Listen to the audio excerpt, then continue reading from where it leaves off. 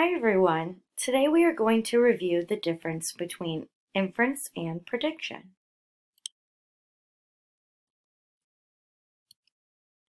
When we make an inference, we make a guess about what is happening that the author isn't telling us directly based on the text and what we know.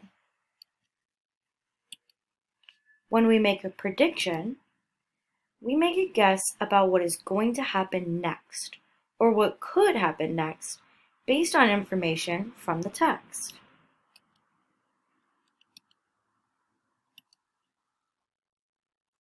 This is an equation that will help us make an inference. We add what we read to what we know or our own personal experiences and background knowledge to, to make an inference. This looks similar to some math problems that we do, where we add the 2 on the top to equal the bottom. We are adding what we know and what the text says to equal an inference or a conclusion about the text. Here's an example of making an inference. If I read, Jordan is biting his nails, and Jordan has a dentist appointment this afternoon. And I know that when I am nervous about something, I bite my nails. My brother bites his nails when he is nervous about something too.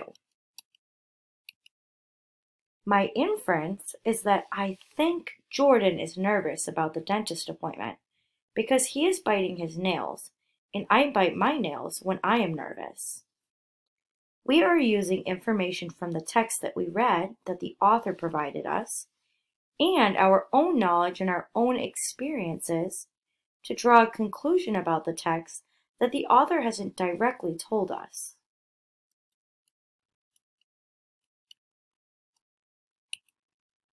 How to make a prediction. When we make a prediction, we make guesses based on clues in the text. Predictions should happen before reading using the title and illustrations. During reading, when we'll stop and we will predict what we think will happen next. And after reading, when we confirm or adjust the predictions that we made before. We will ask ourselves, what will happen next? Let's look at an example of making a prediction.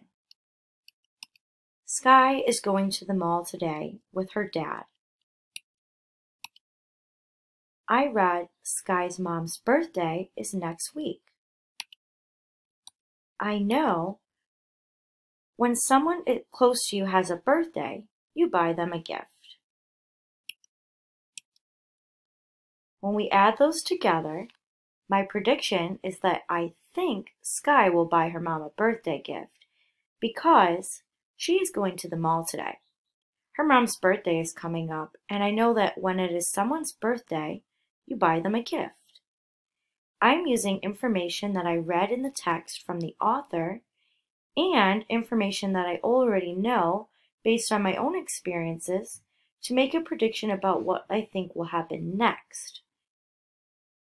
This is different from an inference because an inference will tell us what is already happening in the text, where this will tell us what we think is going to happen next.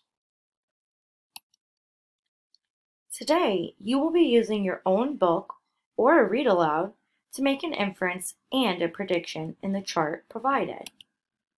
Remember, you can use this video and yesterday's video to help you. You can pause it wherever you like and look at the charts to help you. Support your inference and prediction with details from the text and what you know.